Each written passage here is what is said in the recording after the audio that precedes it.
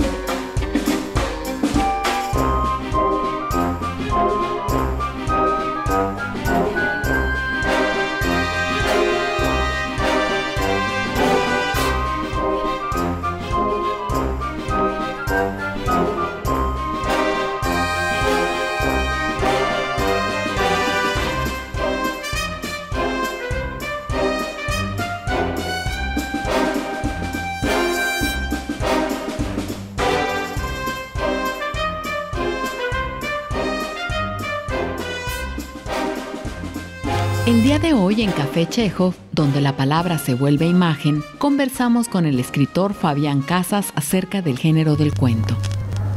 A mí me interesa solamente la poesía, como la columna central del arte, y eso se puede manifestar en, los cuentos, en las novelas, en, una, en una película, en una persona.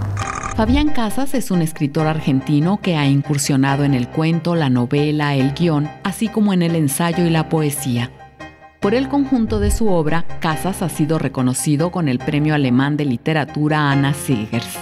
Por su obra poética, Casas ha sido galardonado con el Premio Argentino de Literatura Conex. Y por la película Jauja, escrita por Lisandro Alonso y Fabián Casas, recibió el Premio Fipresi dentro del Festival de Cine de Cannes.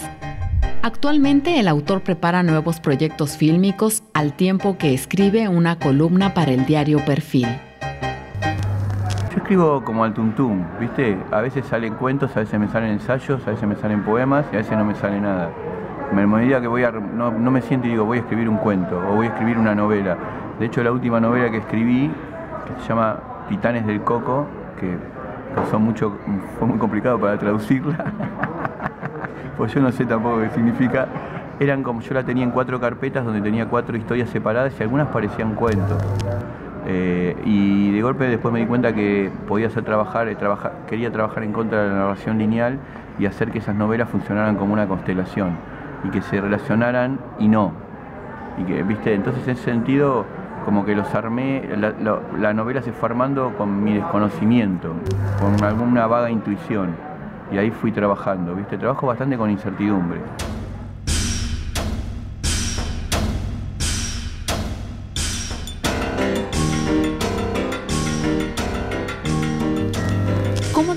Definirías el tipo de cuento que tú persigues escribir? Siempre trato de escribir en contra de mi habilidad, o sea que no tendría una forma de un estilo de cuento. ¿Viste? Cuando, cuando empiezo a escribir, encuentro cierta habilidad que adquirí con los años. Cuando empiezo a adquirir esa habilidad, trato de trabajar en contra de eso porque me es improductivo escribir armando como sacando quesadillas. me gusta no saber lo que estoy escribiendo y que cuando leo me produzca al principio como si tuviera una piedra en el zapato, una incertidumbre, vergüenza ajena. Entonces ahí siento que estoy en un buen camino. Y a veces no sale, pero trato de seguir por ese lado. Cuando siento que es algo que es mi voz personal, lo dejo de lado.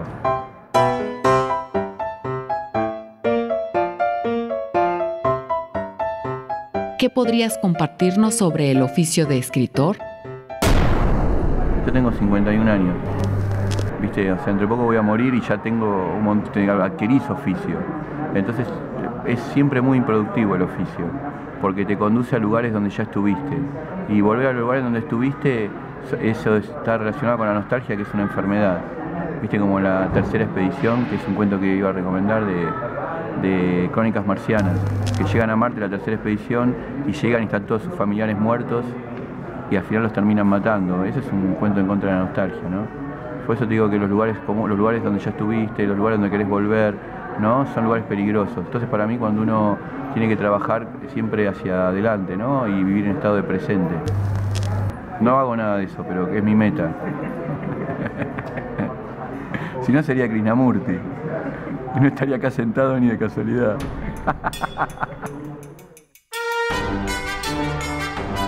¿Cuál es tu opinión acerca de la ciencia ficción? Me encanta. Me encantan todos los géneros, siempre que los géneros para forzarlos.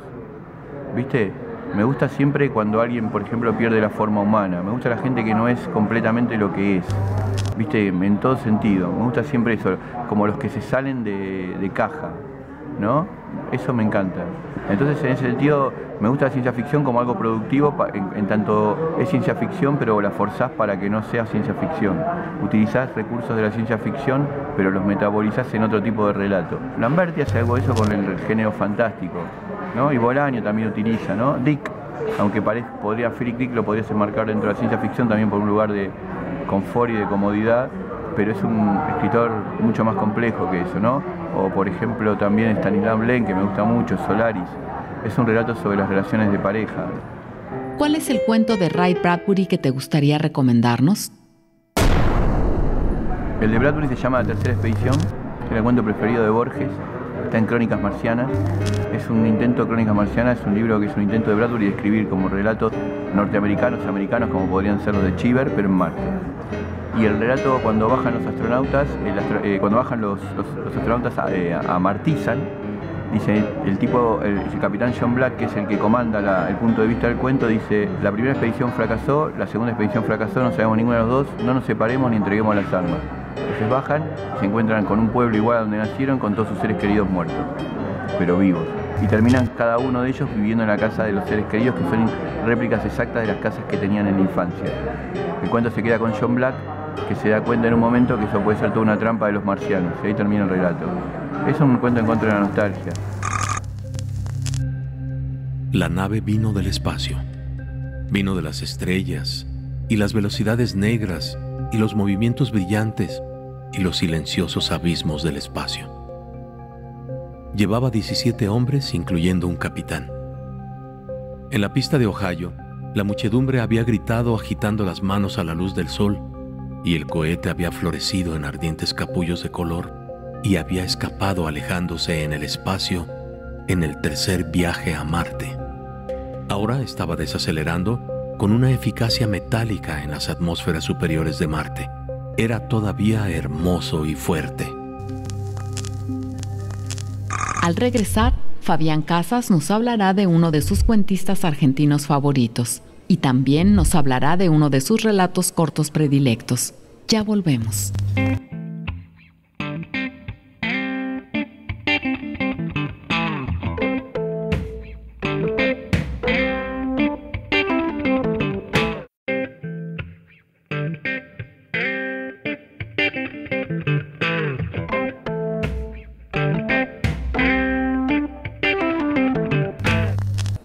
La literatura de Fabián Casas tiene un pulso sincero y entrañable y un estilo que nace de un humor porteño nostálgico y literario. Malena Rey. Café Chekhov continúa conversando con el escritor Fabián Casas acerca del género del cuento. Como lector de cuentos, creo que empecé leyendo los cuentos de Borges, cuando era muy chiquito. Eh, y después he leído de todo, no solamente, no me limito a los cuentos, ¿no? pero experimento placer con cualquier tipo. No pienso mucho en géneros, no tengo esa, esa costumbre. Soy bastante reactivo a pensar en géneros. No estoy en contra de eso. Si alguien saca antología de cuentos, está buena, la leo. Pero no estoy en contra de nada de esas cosas. Pero sí me cuesta mucho pensar en género. ¿Qué podrías compartirnos sobre los textos donde al mismo tiempo aplaudes y rechazas a un mismo autor? Tengo relaciones con, las personas y con los, con los escritores, tengo relaciones reales y no relaciones ideales.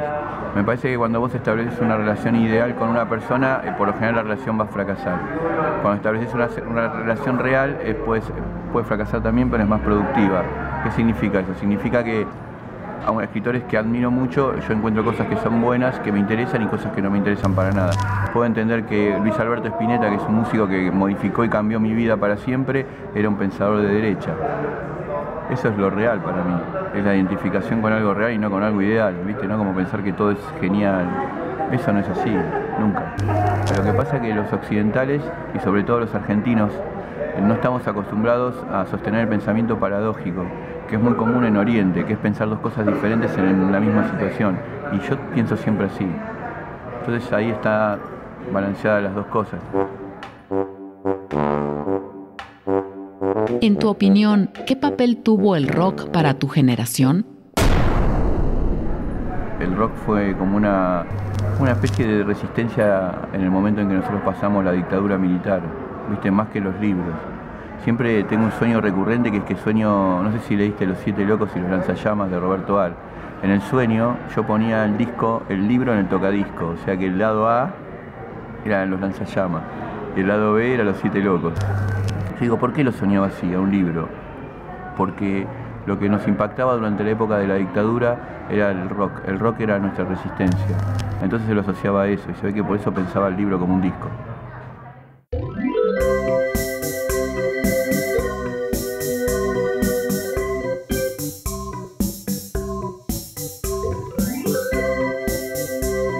¿Qué cuentistas consideras que son fundamentales para ti? Me voy a olvidar un montón, pero me gustan, no sé, viste, hoy estaba leyendo al peruano eh, La Palabra del Mudo, el Julio Ramón Ribeiro, que me parece un genio, ¿no? Eh, en Perú, eh, me, acuerdo, no puedo, estoy involucrado sentimentalmente con Cortázar, porque era un cuentista que yo leía de chico, ¿no? John Cheever, los 11 tipos de soledad de Richard Yates, eh, un montón de cuentistas, ¿no? Me gusta mucho el último libro de relatos de Alejandro Zambra, que se llama Mis documentos. Hay un chileno que me parece un genio que se llama eh, Roncone, que publicó un libro que te recomiendo, que se llama Hermano Siervo, muy reciente, muy contemporáneo. Eh, Luciano Lamberti tiene un libro hermoso que se llama El loro que podía adivinar el futuro. Hay muchos cuentistas que me gustan, hay maestros ¿no? del cuento también. Los cuentos de Tolstoy son geniales. Los dublinenses de Joyce, el cuento, el cuento final, Los Muertos, es una obra maestra, y Borges, ¿no? Los microcuentos de esas micronovelas de los cuentos de Borges son también notables. Ricardo Piglia es un gran cuentista, César Aira, Fowell. En tu opinión, ¿qué define al cuento como género?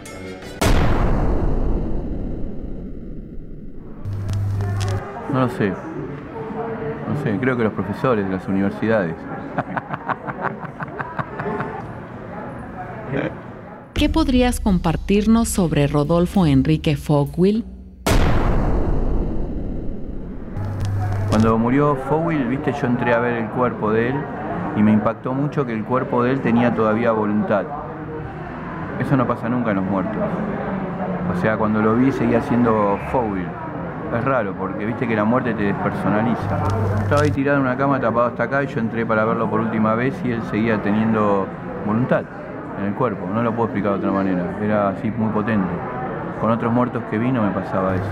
Fogul es un cuentista perfecto para mí y era una persona, era muy muy amigo mío, una gran persona, ¿no? muy difícil de tratar, era como ser amigo de una araña pollito, pero, pero era muy amigo mío.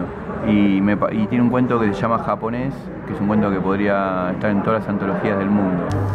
Es un cuento de un tipo que viaja en barco con un tipo al que le llaman el japonés y el japonés desaparece en el barco y el cuento tiene dos finales y nunca sabes cuál de los dos finales es el del relato, porque está narrado con una gran perfección y podría ser interpretado también como un cuento de fantasmas.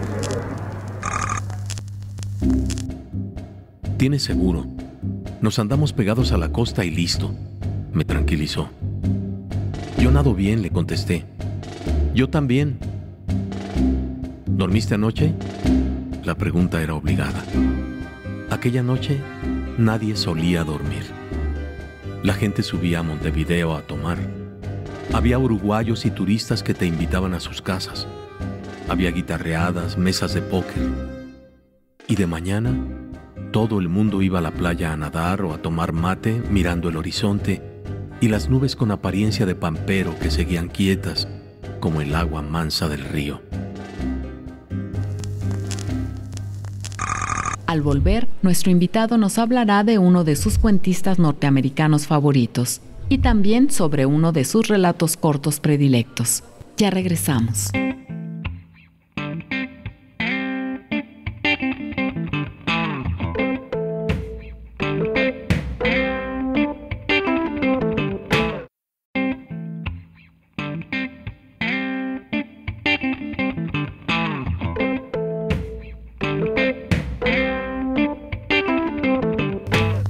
En los textos de Fabián Casas, Frank Zappa, Sid Barrett, Hegel, Schopenhauer, Darth Vader y Bushido no son citas, sino figuras.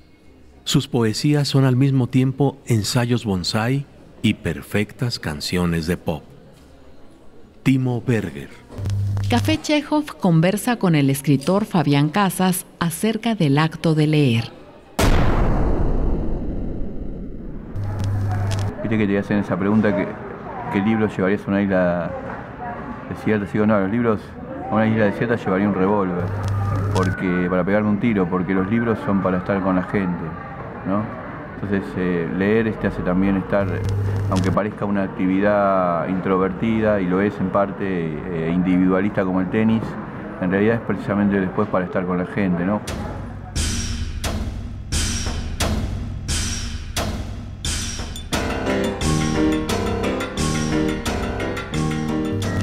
En tu opinión, ¿de qué manera se relaciona la realidad y la ficción?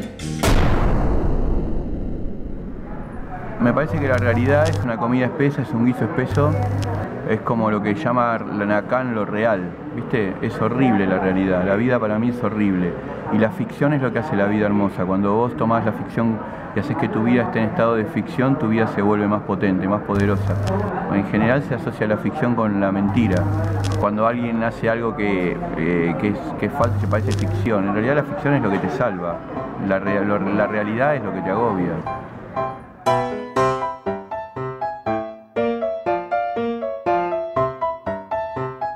¿Cómo es tu relación con la literatura de Roberto Bolaño? Es un escritor que me parece muy bueno, me gusta mucho. Algunas cosas de él y otras no. Una relación así. Me parece un escritor eh, muy potente, ¿no? Eh, muy, como muy visceral, ¿no? Tiene un romanticismo. También es un escritor que los personajes logran cierta empatía con la gente joven, porque siempre son o hippies o hipsters o escritores, ¿no? Tiene, hay una novela que se llama Estrella Distante que me parece muy buena y me gusta mucho la última novela, 2006-66, porque me parece como también una apuesta muy grande. ¿no? él ha leído mucho a Cortázar y eso también se nota. Es un tipo que ha, metabolizado a Cortázar, ¿no? Eh, ese tipo de escritura la, ha vuelto a instalar ¿no? a Cortázar de alguna manera. Como estás leyendo a Bolani, estás leyendo también algo de Cortázar. ¿Qué es lo que a ti te interesa explorar en el fracaso? Nada, es un lugar común, estoy en el fracaso. O sea, en general la vida es una constante, eh, lo, que, lo que va a pasar de que naces hasta que morís es que te, van a, te vas a frustrar. Cuanto más capacidad de frustración tengas, más feliz sos. O cuanto menos capacidad de frustración tengas, sos una persona más infeliz.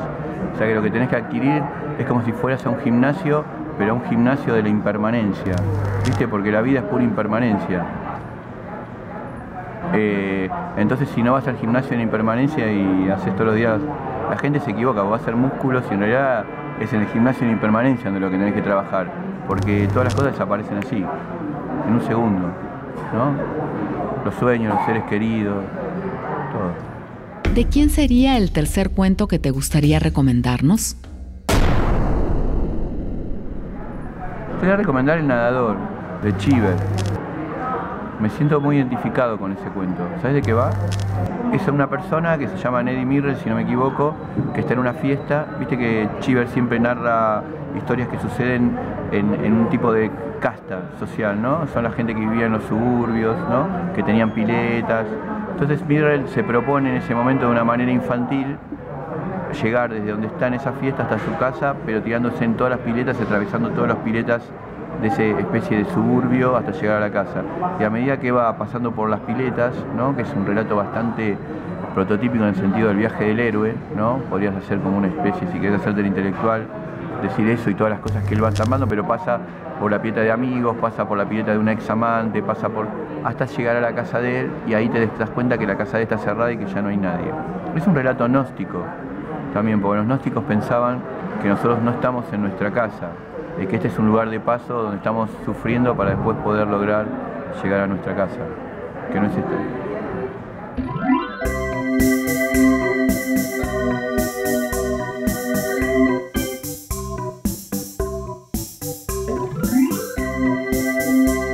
podrías compartirnos sobre la obra cuentística de John Cheever? Cheever me gusta todo, no solamente los cuentos, ¿viste? Tiene las novelas también. Hay una novela que se llama Suburbio, que es una obra maestra. No sé cómo estará traducida. Eh, me gusta todo Cheever, me gusta mucho la forma en que él trabaja, viste, los climas, la forma en que trabaja los relatos. No es un escritor que se haga, al igual que Richard Yates, que también me gusta mucho y son contemporáneos, son escritores que no se hacen notar. ¿Viste cuando un árbitro se hace notar en el partido? Que el árbitro parece más importante que los jugadores. Gustan los escritores que no se hacen notar.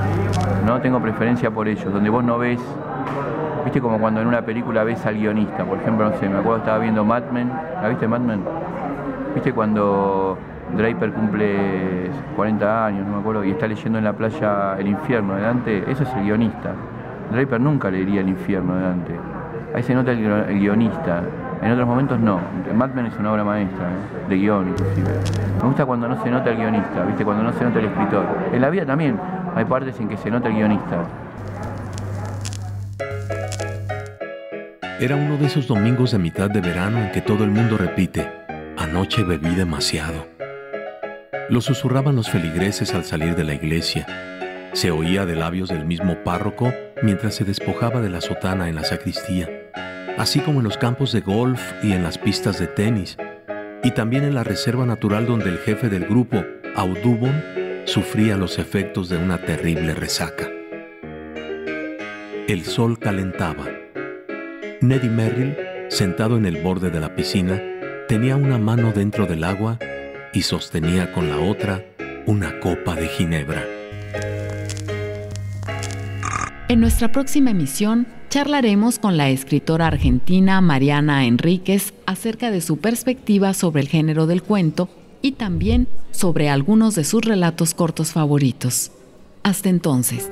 En la lectura encontré un, un mundo que tiene que ver con, que siempre tuvo que ver con mi, con la expansión de mi imaginación, ¿no? Eh, y sobre todo lo que encontré fue la posibilidad de expresarme yo. Hay un momento en que empecé a leer que dije, ah, también puedo escribir. De hecho, hasta hoy, el mayor disparador que tengo para la escritura es la lectura. El cuento para mí se, se destaca por el despojo. La novela suele crecer por acumulación. Y el, cuento suele crecer por el despojo. El cuento me parece que crece mucho más cuando uno elige quitarle, decir, bueno, esto sobra, esto sobra, esto sobra, esto sobra. Me gusta eh, en general cómo el cuento a veces, y sobre todo lo veo en muchos escritores, en grandes cuentistas, cómo hacen que la novela de alguna manera sea irrelevante, como, no sé, Borges no tiene ninguna novela. Yo no creo que le haga falta tener ninguna novela si tiene un cuento como Funes el Memorioso. Me parece que es un cuento de una densidad semántica, de una, de una densidad de tema, de una densidad de, pensamiento que no requiere eso.